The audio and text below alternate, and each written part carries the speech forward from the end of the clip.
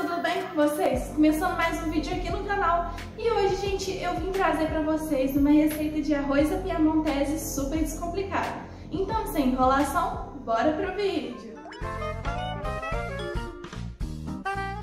Para começar a preparar o nosso arroz à piamontese, em uma panela com fogo médio, a gente vai acrescentar duas colheres de sopa de óleo ou de azeite, se você preferir. E daí a gente já acrescenta a cebola e vamos deixar ela fritar até ela ficar um pouquinho mais transparente.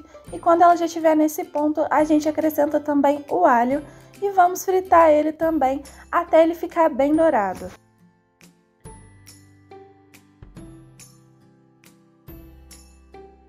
Em seguida, também vamos adicionar duas xícaras de arroz branco cozido normalmente e refogar mais um pouquinho.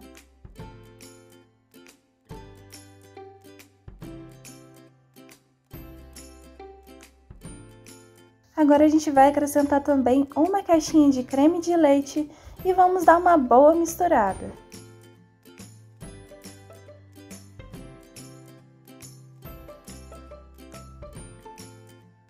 Daí com creme de leite já todo incorporado no seu arroz, a gente acrescenta agora o queijo mussarela e mistura mais um pouquinho até esse queijo dar uma boa derretida. Agora a gente vai acrescentar o queijo parmesão ralado e dar mais uma boa misturada.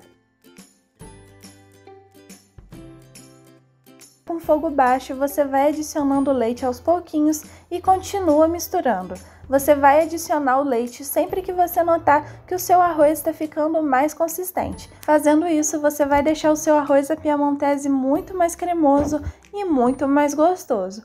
Eu estou adicionando aqui 200 ml de leite certinho, mas se você achar que precisa de um pouquinho de mais no seu, você vai adicionando aos pouquinhos até dar o ponto.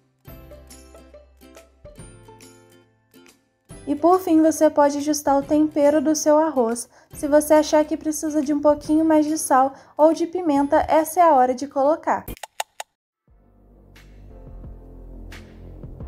Olha só que coisa mais linda que ficou o nosso arroz da Piemontese. E se você gosta de receitas como esta, super simples, se inscreve aqui canal e deixe seu joinha também, que a sua ajuda é super importante para ajudar o canal a crescer. Ativa o sininho de notificações também, que a gente tem vídeos como este toda semana. Eu vou ficando por aqui, um beijo e vejo vocês na próxima receita aqui do meu canal. Tchau!